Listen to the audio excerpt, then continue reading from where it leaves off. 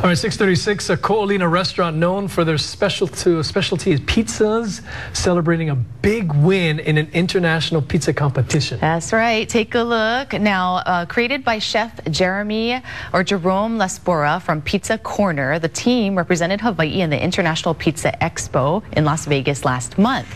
Well, after winning first place in the regional division, they created this. Oh. It's a poke pizza. Look at this, And they moved on to the finals and eventually placed third third in the international competition for their spin on the pizza that's topped with poke. Okay, co-owner Frank Mento, this is a great idea, said we had a lot of fun at the competition, met some great people along the way, and we're looking forward to returning next year.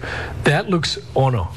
See, huh? as, as a former pizza maker, I wonder the technique behind it. Do they make the pizza dough, make it, and then put the poke on after? I think so. Probably. You got yeah. to, because if you put it in, then you're going to cook the poke. Right? Exactly. Or maybe they put it in a couple minutes and sear it. Oh, gosh. This is just a great idea across Isn't the board. It? Good idea, guys. Yeah. Congratulations. Ah, we need to dig deeper and um, Please taste test. taste test that, yeah.